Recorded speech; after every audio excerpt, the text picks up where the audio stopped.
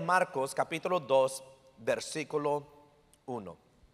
Esa es una de las historias más famosas ah, de los milagros de Jesús. Dice, entró Jesús otra vez en Capernaum después de algunos días y se oyó que estaba en casa. Y inmediatamente se juntaron muchos de manera que ya no cabían ni aún a la puerta y les predicaba la palabra. ¿Se recuerdan la semana pasada? Dijo Jesús, a esto he venido a predicar, right? Tengo que ir a predicar porque a esto he venido.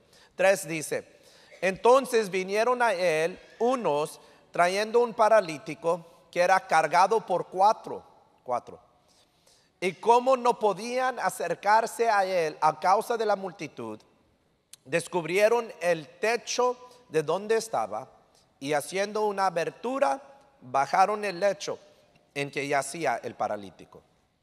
Al ver Jesús la fe de ellos, dijo al paralítico, hijo, tus pecados te son perdonados. noten que vio la fe de ellos, pero le dice al paralítico, tus pecados, hijo, tus pecados te son perdonados. Seis. Estaban allí sentados algunos de los escribas, los cuales cavilaban en sus corazones. Ahora, los escribas, habían tres grupos de religiosos en los días de Jesús. Los fariseos, los saduceos y los escribas. ¿okay? Los fariseos creían en la resurrección, los saduceos no creían en la resurrección. Y de ahí los escribas, right? Los escribas eran expertos en la ley. Ellos ah, tenían sumamente conocimiento de las escrituras. Y eso es algo importante que, vamos a ver en unos momentos.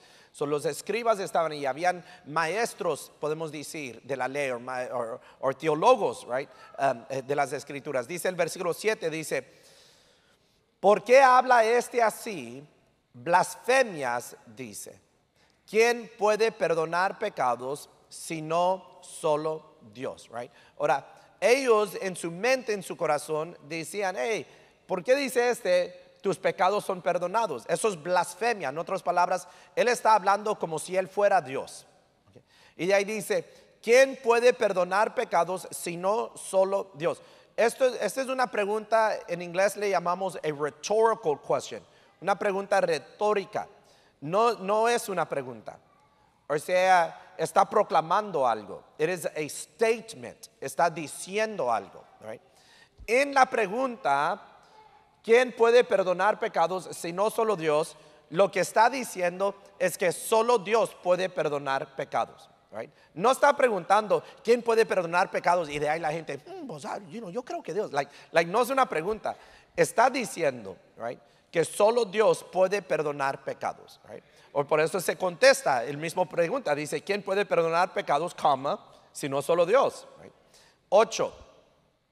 Conociendo luego Jesús en su espíritu que cavilaban de esta manera dentro de sí mismo, les dijo, ¿por qué caviláis así en vuestros corazones? ¿Qué quiere decir que cavilaban en sus corazones? Quiere decir que lo estaban pensando. Quiere decir que lo estaban pensando. No lo estaban hablando, no lo estaban verbalizando, no sé si eso es correcto decir, right? But they weren't verbalizing it, lo decimos, así decimos en inglés, right? No, no, estas palabras no estaban saliendo de la boca de ellos, simplemente era algo en el corazón de ellos, en la mente. Y el Señor Jesucristo pudo escudriñar, pudo entender lo que ellos cavilaban. Dice, luego Jesús en su espíritu, right? Eh, conociendo Jesús luego que I'm sorry, conociendo luego Jesús en su espíritu que cavilaban de esta manera, dentro de sí les preguntó, ¿por qué caviláis así en vuestros corazones? Nueve. ¿Qué es más fácil decir al paralítico? ¿Tus pecados te son perdonados? O decirle, levántate, toma tu lecho y anda. ¿Qué, es más fácil a decir? Eh, eh, yo, les estoy preguntando, no, no, les estoy tratando de engañar. Right? ¿Qué es más fácil decir? Tus pecados son perdonados o toma tu lecho y anda. ¿Qué, sería más? Si Jesús hubiera estado aquí, ¿qué es la respuesta? Tus pecados. ¿Por qué? Porque no lo puedes probar. No puedes dar evidencia en el momento que tus pecados son perdonados. Pero si Jesús dice levántate, eso se puede probar en el momento. La persona se va a levantar o no se va a levantar. right? Si Jesús dice toma tu lecho y anda, en el momento la persona va a tomar su lecho y va a andar o no lo va a hacer. So eso en el momento inmediatamente se puede probar. right? Se, se- se pone a la, a la prueba. Eh, eh, co- compartía con los hermanos de que en, um, cuando más años atrás, right, en, en la, en la- en, eh, en la prepa, uno toma química, chemistry, y, nos daban unos papelitos morados, y estos papelitos morados lo, metías en líquido, y si el papelito cambiaba de color, eh, mostraba que, el líquido era ácido. Y si no cambiaba color, no, era ácido. En, inglés le, le llaman litmus test. He preguntado cada servicio y nadie sabe cómo traducir, eh, eh, traducir eso. Reactivos. Eh, alguien me dijo reactivos, lo, encontré más temprano y, era algo más, ah, eh, ahorita no se me viene a, mente, pero reactivos, right? O sea, hay una reacción. Pones el papelito, si es ácido, hay una reacción, si no es, no hay una, reacción. O eh, en el sentido figurado es como decir prueba a fuego, right? Prueba a fuego. Entonces, no puedes probar que tus pecados han sido perdonados, pero sí puedes probar, hey, se levantó, tomó su lecho y anduvo. Versículo 10. Oh, prueba de pH, right? Prueba, prueba de, pH, right? Prue- Prueba de pH. Es- son esos papelitos morados, like that. Ahí me lo encontró Irma. Good job, Irma. Right? Versículo 10 dice, pues para que sepáis que el Hijo del Hombre tiene potestad en la tierra para perdonar pecados, dijo al paralítico. Ok, noten, no dice, pues para que sepáis que el Hijo del Hombre tiene potestad para perdonar pecados, sino que hace énfasis y dice, tiene potestad en la tierra para perdonar pecados. En otras palabras, está dando, eh, en inglés, está dando un hint, right, de que yo no soy de aquí. Yo no soy de aquí, mi poder y mi autoridad no es de aquí, yo no soy de aquí. Pero para que veas como allá tengo poder y autoridad, hablando del cielo, aquí también en la tierra tengo poder y autoridad. Y so les preguntó, ¿qué es más fácil decir? ¿Tus pecados son perdonados o levántate, toma tu lecho y anda? Todos estamos de acuerdo. Es más fácil decir, toma tu lecho y anda. So dice Jesús, para que vean que tengo poder, potestad en la tierra para perdonar pecados, le dice al paralítico, a ti te digo, versículo 11, levántate, toma tu lecho y vete a tu casa. 12. Entonces él se levantó enseguida y tomando su lecho salió delante de todos, de manera que todos se asombraban. Vamos a leer esto en voz alto. Y glorificaron a Dios diciendo, nunca hemos visto tal cosa. Una vez más, en voz alto. Y glorificaron diciendo, man, yo les voy a decir, hicieron un trabajo excelente. A las 8, dije todos en voz alto. y- no se pararon en el Dunkin' Donuts para su café, ¿verdad? No, ustedes sí. Por eso vinieron a las 10 y no vinieron a las 8. Like. All right. Vamos a regresarnos al versículo 5, verse 5. Al ver Jesús la fe de ellos, right? Fe. La palabra fe, a veces es la palabra fe, a veces es la palabra creer, a veces es la palabra confiar. Fe, creencia, confianza. Solamente en el Evangelio de San Juan, esta palabra fe se usa 98 veces, casi 100 veces. Es la misma palabra de cuando Jesús dice en San Juan 3:16, porque de tal manera amó Dios al mundo que ha dado su Hijo unigénito para que todo aquel que en él cree no se pierda, mas tenga vida eterna. Right? Pudiera decir para todo aquel que en él tuviera fe, es la misma palabra, fe, creer y um, ¿qué, qué fue la otra que les dije? Confiar, right? Fe, creer, confiar. Fe, creencia, confianza. Jesús ve la fe de ellos. Ahora, ¿qué es fe? ¿Qué es creer? ¿Qué es confiar? Cuando tú y yo verdaderamente tenemos fe, tenemos confianza, ah, creemos en Dios, en Cristo Jesús, esto activa acción en nosotros. Provoca acción en nosotros. Por eso dice las escrituras, fe sin obras es muerta. right? En otras palabras, nuestra fe debe de activar, provocar una obra, un hecho. O esta mañana, tu fe, tu creencia, tu confianza en Jesús provocó, movió en ti que te despertaras, que te alistaras y que vinieras a la iglesia. right? Tu fe, tu creencia, tu confianza movió en ti, provocó en ti a levantar tus manos, a cantar, a alabar y adorar. Tu fe, tu confianza, tu creencia provocó en ti de estar aquí en este momento y escuchar la enseñanza, escuchar la predicación. Y déjame decirte que en la predicación, en la enseñanza, tu fe, tu creencia, tu confianza crece. Porque dice la palabra que la fe viene por el oír y el oír la palabra de Dios. Y la fe, la creencia, la confianza en Dios es tan importante que dice la palabra que sin fe es imposible agradar a Dios. Fe, confianza, creencia. This, this- this is important stuff.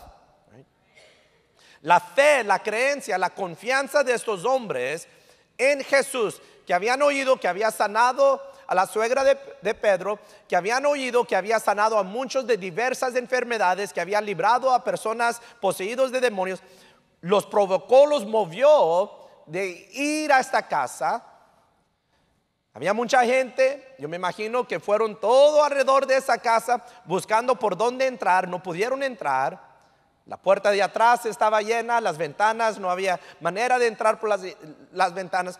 Y esta fe provocó, movió a estos hombres a hacer algo que yo no me atrevería a hacer. Subirse al techo de la casa. Y no nomás subirse al techo de la casa, pero subir al paralítico al techo. Imagina, y si nos, si nos cae, right? ¿qué pasa? Y de ahí encontraron donde estaba Jesús y rompieron, abrieron el techo y lo bajaron delante de Jesús. They lowered him before the Lord. Imagínate Jesús predicando y de repente un polvo cayendo. Hey, what's going on here? ¿Qué es ese ruido? Y él, "Mire, eso es fe, esa es confianza, esa es creencia.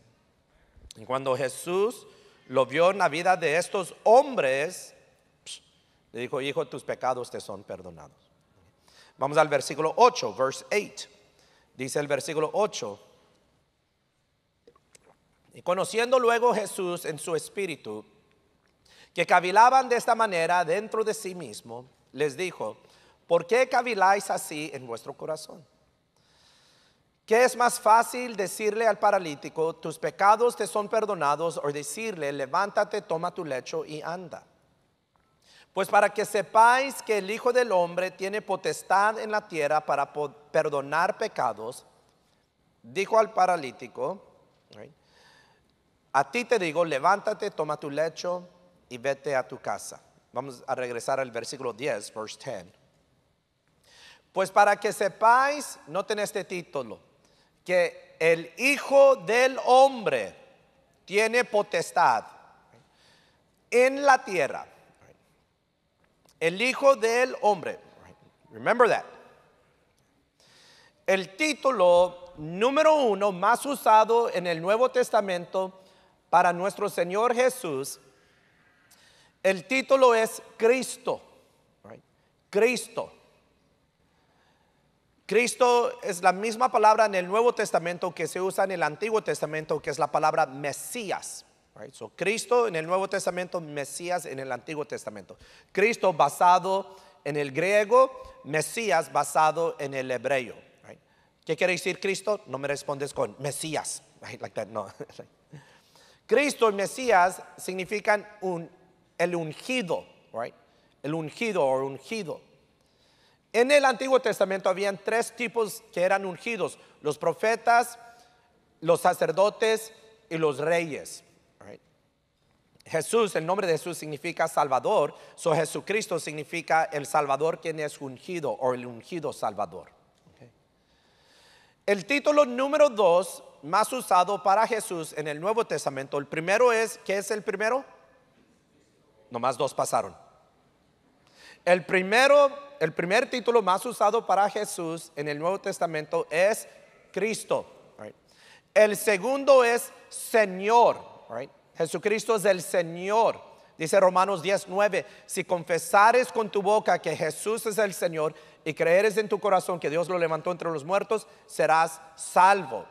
¿Se recuerdan de Tomás cuando vio a Jesús en persona? Dijo, mi Dios, mi Señor. Señor. El título número dos es Señor. Y no, no como el Señor. Andábamos yo y mi papá, no me recuerdo dónde, y alguien dijo, Señor Villarreal, Señor Villarreal. Yo nunca me volteé, pensaba que le hablaban a mi papá, pero no, ya, ya, ya a mí me dicen Señor. Más antes me decían joven, pero ahora me dicen Señor. It's a sad day. It was a sad day, right? Era un día triste en mi vida, pero it's okay, right? El título número uno más usado para Jesús es el título número dos en la Biblia, en el ah, Nuevo Testamento más usado es Señor. Ah, no, no, todos quieren su estrellita de oro. Like that. Very good. La tercera, the third one, es Hijo del Hombre. Hijo del Hombre. Hijo del Hombre. Okay. Pero el título número uno que Jesús usa para él mismo, el título número uno que Jesús usa para él mismo no es Cristo, no es el Señor, es este título, Hijo del Hombre. Tú lees Mateo, Marcos, Lucas y Juan y una y otra vez Jesús habla de él mismo como el Hijo del Hombre. right? Um, dice, el Hijo del Hombre no vino para ser servido, sino para servir y dar su vida a rescate por mucho. En este caso dice, pues para que sepáis que el Hijo del Hombre, hablando de él mismo, tiene potestad en la tierra para perdonar pecados, dijo al paralítico, hey, a ti te digo, levántate, toma tu lecho y vete a tu casa. Ok, vamos a Daniel capítulo 7 y de ahí vamos a regresar a Marcos 2. Cuando ya llegan a Daniel 7, digan amén. ¿Qué quiere decir hijo del hombre? Muchos creen que hijo del hombre enseña la humanidad de Jesús y hijo de Dios enseña su deidad. Porque hoy vamos a aprender un poquito de teología. Teología. Teología, decía R.C. Sproul, si quieren tomarle una foto a esto, dice, la teología es el estudio de Dios y sus caminos.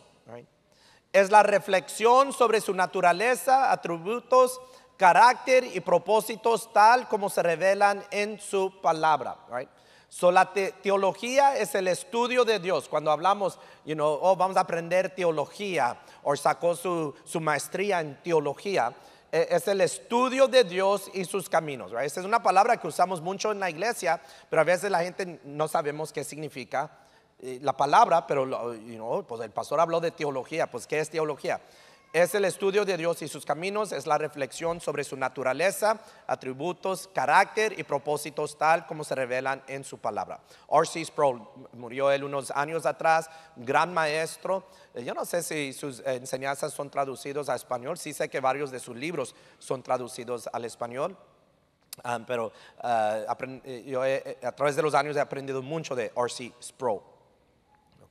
Hoy vamos a aprender un poquito de la teología de Jesucristo, que es el estudio de Dios y sus caminos, el estudio de Jesús.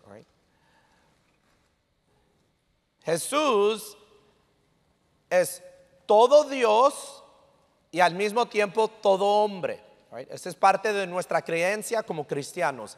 Es todo Dios y al mismo tiempo todo hombre. No era mitad Dios, mitad hombre, todo Dios y al mismo tiempo todo hombre. Jesús como el Hijo de Dios existía antes de su nacimiento. Dice San Juan, en el principio era el verbo y el verbo era con Dios y el verbo era Dios. Pero ya este verbo tomó forma, tomó carne y vino y estuvo entre nosotros. Al mismo tiempo, celebramos la Navidad y la Navidad nos enseña que Jesús nació por medio de una muj- mujer, concebido por el Espíritu Santo. So, todo Dios, todo hombre. el Emmanuel, Dios con nosotros. Y él está diciendo, el Hijo del Hombre, el Hijo del Hombre. Y nosotros lo leemos, oh sí, el Hijo del Hombre, pero no nos damos cuenta qué es lo que esto significa. Recuerdan que Jesús era judío. Recuerdan que cuando esto está pasando, la gran mayoría de los que estaban alrededor de él eran judíos. Cuando Marcos escribe su evangelio, la gran mayoría de los primeros que iban a leer este evangelio eran judíos. Estaban los escribas allí que eran expertos en el judaísmo o en el estudio de la ley o eran expertos en lo que hoy le llamamos el Antiguo Testamento. So cuando él dice para que vean el Hijo del Hombre, el oído y la mente de ellos, ellos iban a Daniel 7. Like, wow. Y mira lo que dice Daniel 7, versículo 13. Daniel 7, verse 13. Dice, miraba yo en la visión de la noche, y he aquí con las nubes del cielo, venía uno como un hijo de hombre, que vino hasta el anciano de días, el anciano de días es otro, otro nombre para Dios, hicieron y le hicieron acercarse delante de él. 14. Y le fue dado al Hijo de Hombre dominio, gloria y reino, para que todos los pueblos, naciones y lenguas le sirvieran. Su dominio es dominio eterno que nunca pasará y su reino uno que no será destruido. So, cuando Jesús hace referencia a él mismo como hijo de hombre, es mucho más de hablar de su humanidad. Él está diciendo, van a Daniel 7, yo soy, yo soy el que esperaban. Porque recuerdan que la historia de los judíos, ellos habían sido conquistados y siempre habían extranjeros reinando sobre ellos. Por, esto había pasado por muchas generaciones. En los días de Jesús, los, extranjeros que reinaban sobre ellos eran los romanos. Y ellos siempre eran maltratados. Los romanos odiaban a los judíos. Los miraban como gente sucia, los miraban, eh, perdonen mi frase, pero los miraban como perros. Yo sé que hoy en día tú amas a tu perro como si fuera un hijo tuyo, right, like that. Pero no siempre ha sido así. El perro por mucho tiempo se, miraba, era como un animal sucio. Como, Y ellos así miraban a los judíos. Y ellos siempre esperaban que un día iba a venir uno del cielo y como decimos en inglés, he's going to set everything right. Iba a corregir todos los males. Quiero compartir con ustedes tres cosas que aprendemos del el Hijo del Hombre, de Jesús, en estos dos versículos, Daniel 7, 13 y versículo 14. La primera que comparto con ustedes es que el versículo 13 nos enseña, tómale un foto si quieres a mis notas, que el Hijo del Hombre aparece entre las nubes del cielo y es llevado ante la presencia del anciano de, de días, right? So, el versículo 13 nos enseña, el Hijo del Hombre aparece entre o aparece con las nubes del cielo. Si el Hijo del Hombre aparece con las nubes del cielo, quiere decir de dónde vino. Vino del cielo. Si él aparece con las nubes del cielo, quiere decir que viene del cielo. Este versículo nos enseña el origen. ¿De dónde viene? Viene del cielo. Y el poder divino del Hijo del Hombre enseña el origen y el poder divino del Hijo del Hombre. El versículo 14 nos enseña que se le da dominio, gloria y un reino. Y este dominio, gloria y reino dice, su dominio será eterno y su reino no será destruido. Eso no puede ser un hombre común. Un hombre común, un hombre natural, no puede tener un dominio que es eterno no puede tener un reino que no, se, no es, no se, ah, es ah, destruido. La tercera cosa que vemos en el versículo 14 es que todas las personas, naciones e idiomas le servirán. Cuando Jesús decía, se refería a él mismo como hijo de hombre, Lo que él decía a todos los religiosos, un día todos ustedes me van a servir. Lo que les estaban diciendo, un día hasta Roma me va a servir.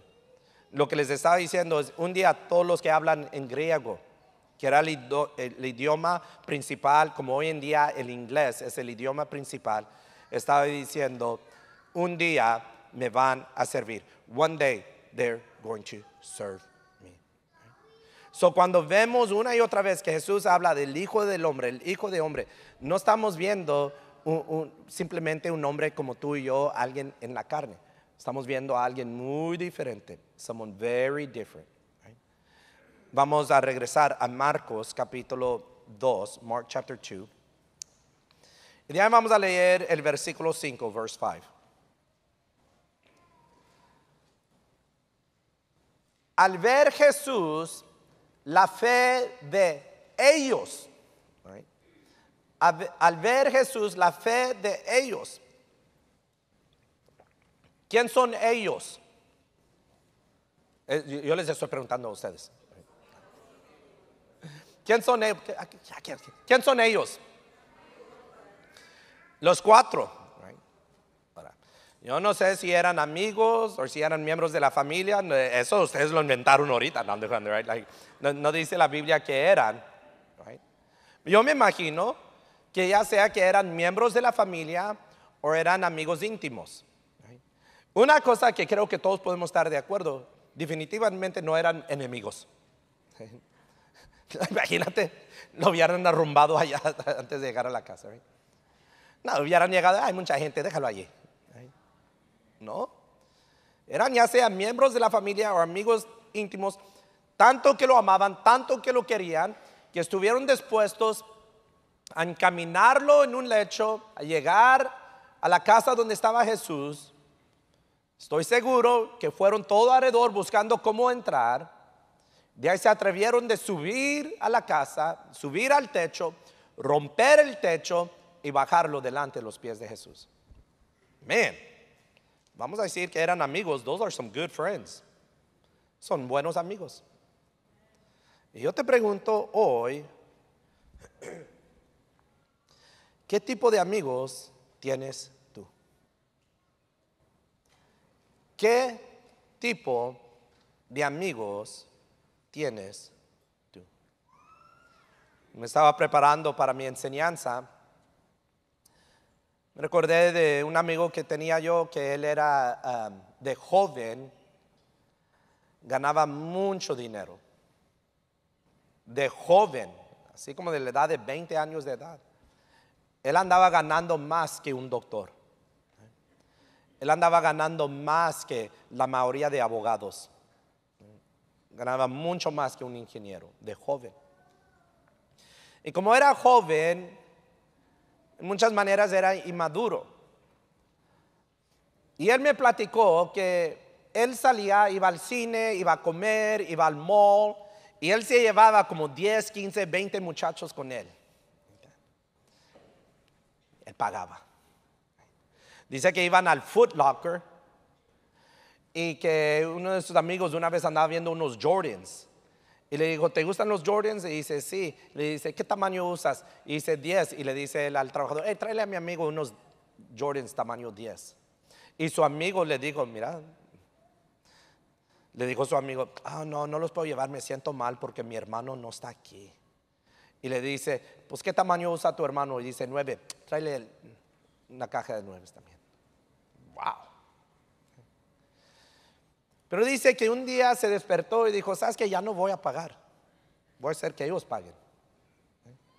Y dice, Rubén, mira, así se fueron todos los amigos.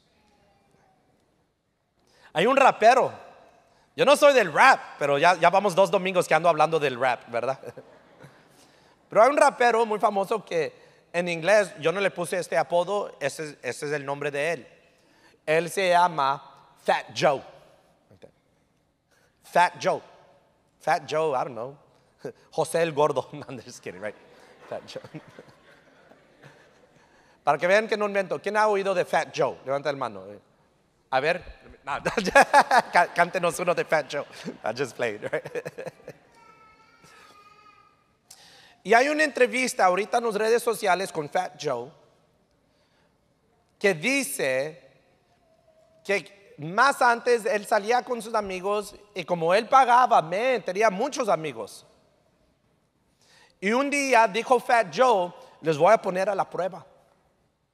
Y se hizo el pobre. Les dijo que había perdido todo, me imagino, en unas inversiones, lo había malgastado. Les dijo que ya no tenía dinero. Y dice, mira, todos los amigos se desaparecieron. Estos amigos, Jesús vio la fe de ellos,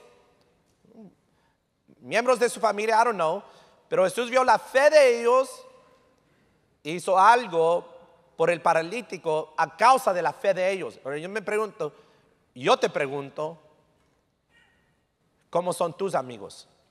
¿Tú crees que ellos te pusieran en un lecho y te llevarían a Jesús? ¿Tú crees que ellos se subirían a un techo, rompieran el techo para llevarte a la presencia de ¿Sabes qué? Mira, acá tengo mi filero. Te lo voy a poner más cerca. ¿Qué tipo de amigo eres tú? ¿Qué tipo de amigo eres tú? ¿Tú estás trayendo tus amigos a Jesús? Estás haciendo todo lo que es necesario, todo lo posible, aún cosas que para la mayoría de nosotros sería una locura, como subirte a un techo, romper el techo y bajar tus amigos a la presencia de Jesús para escuchar estas palabras, hijo, tus pecados te son perdonados. What kind of friend are you? ¿Qué tipo de amigo eres tú? What kind of friend?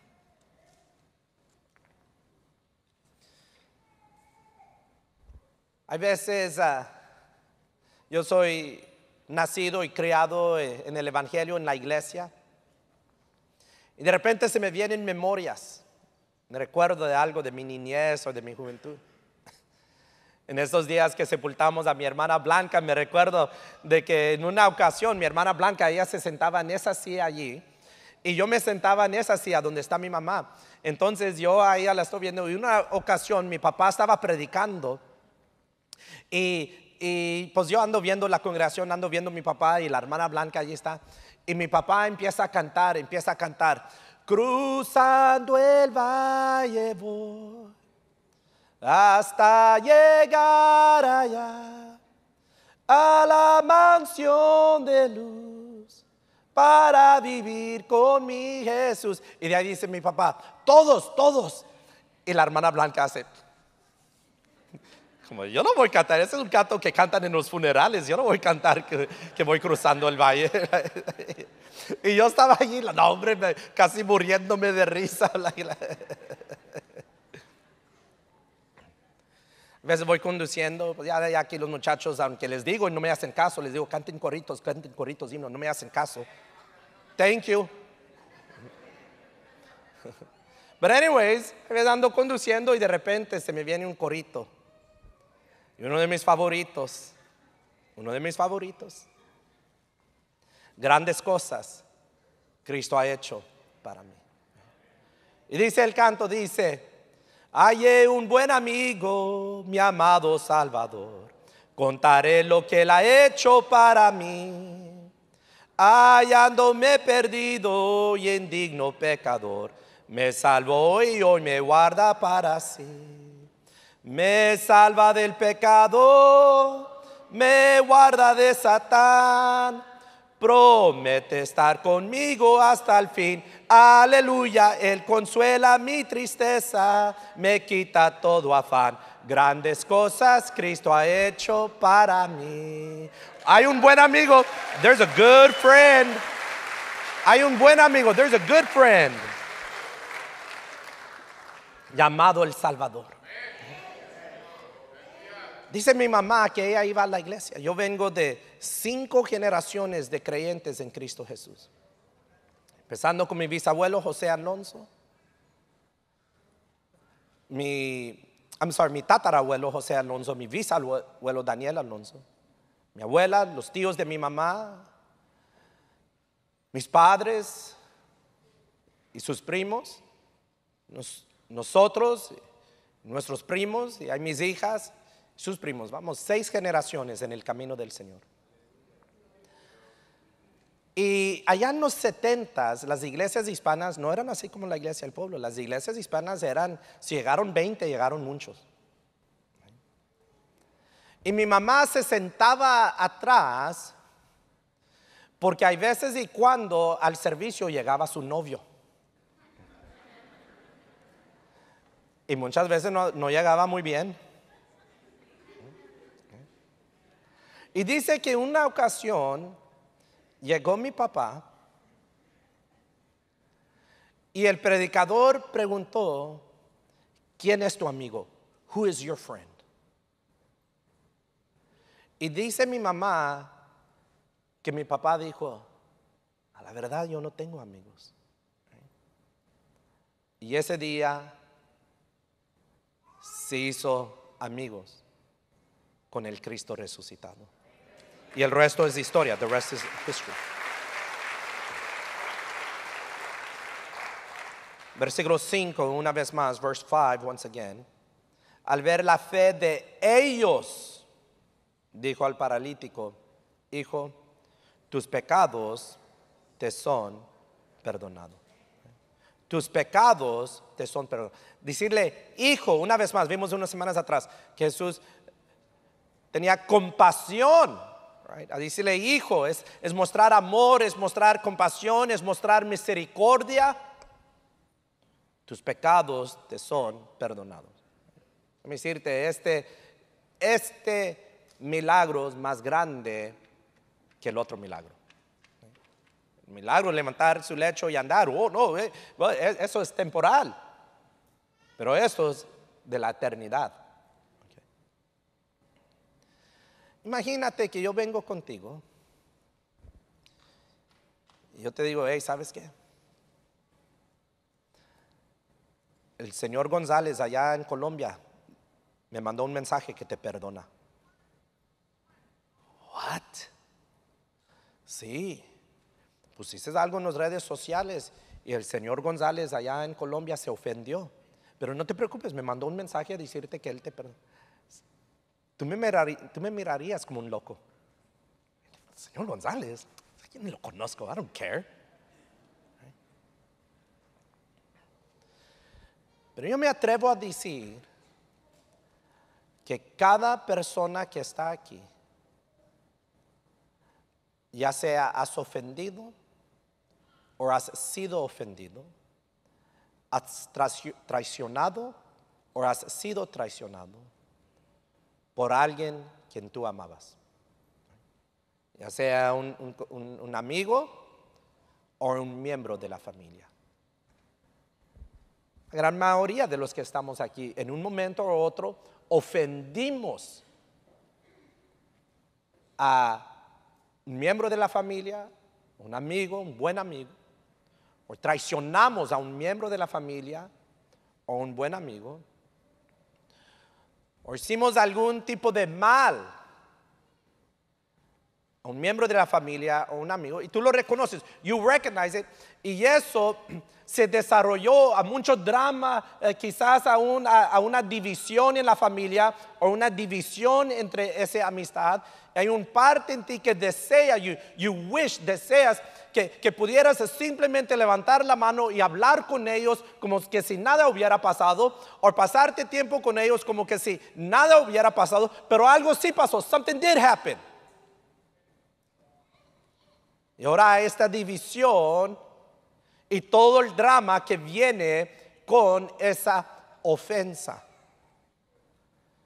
Y hay un parte en ti, un parte en mí que desea ir con esa persona, si podemos poner todo el drama y parece que ellos después hicieron, si pudiéramos poner todo eso al lado y regresar al momento que la ofensa sucedió, pudiéramos ir delante de ellos y decir, I messed up. Gravemente hice un error. I was wrong. Yo fui mal. Yo hice mal. I did wrong. Yo me arrepiento. I repent. Y te pido por perdón. And I ask you that you would forgive me. Unos de ustedes con esa oportunidad se pusieran a llorar delante de esa persona, con lágrimas cayendo y un anhelo de ser restaurado, un anhelo de que esa persona te dé un abrazo, que te levante la cabeza, que te diga, sabes que yo te perdono, it's okay, you know, eh, vamos a seguir adelante. Hay personas aquí que anhelan eso, they desire that in such a great way.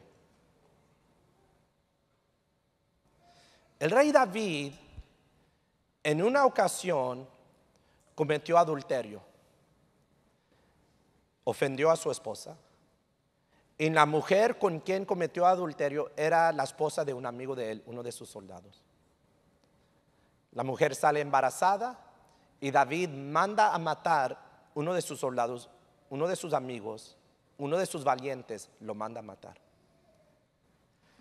Se pasó como un año y no se arrepintió. Se imaginan todo el drama en, eh, en, el palacio del rey. Viene el profeta de Dios Natán y le dice a David, You're it. Has pecado. Y las palabras que salen de la boca de David son estas palabras. He pecado contra Dios. Y se arrepintió. Cuando tú ofendiste, cuando tú traicionaste, cuando eh, tú metiste esa, navaja en la espalda, when you stabbed them in the back, no solamente fue en contra de esa persona, pero fue en contra de Dios. Cuando tú y yo pecamos, cuando tú y yo desobedecemos, cuando tú y yo estamos en iniquidad y en rebeldía, déjame decirte que cada vez es en contra del Dios que te ama y que te ama incondicionalmente. Every time it is against that God. Eso debe de quebrar nuestro corazón. Eso debe de, humillarnos, eh, de estar dispuestos de venir humildemente delante de Dios y decirle a Dios, yo reconozco que te he traicionado, yo reconozco que te he ofendido, yo reconozco que he pecado contra ti. And I want to tell you something, yo te quiero decir algo. Si tú te atreves a hacer eso, si tú te atreves de acercarte a Dios de esa manera,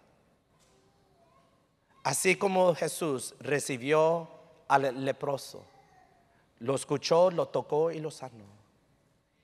Tu Padre Celestial haría lo mismo para ti. Levantaría tu rostro. Te quitaría esas lágrimas. Te perdonaría.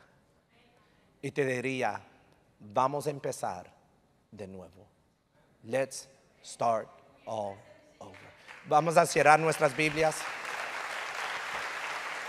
Vamos a cerrar nuestras Biblias e inclinar nuestro rostro. Empieza a darle gracias a Dios que viniste a la iglesia hoy. Dile gracias, Señor, que llegué a tu casa de oración. Thank you, Lord. Gracias, gracias, Señor. Que llegué aquí con los hermanos. Gracias por mi familia que está presente. Thank you, Lord,